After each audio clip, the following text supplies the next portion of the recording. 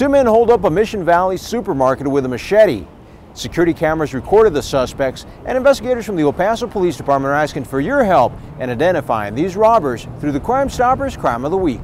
On the night of Saturday, February 10, 2018, two men entered the Zeke's Pueblo Mexicano supermarket located at 115 Isleta Lane. At about 9.30 p.m., one of the men was armed with a machete, and both men quickly made their way to the cashier.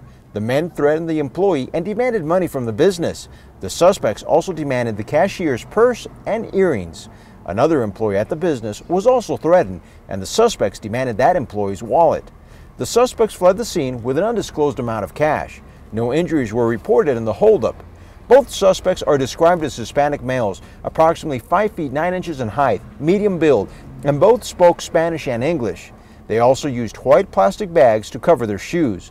The first suspect covered his face using a stocking. The second suspect was using a black and white striped beanie to cover his face.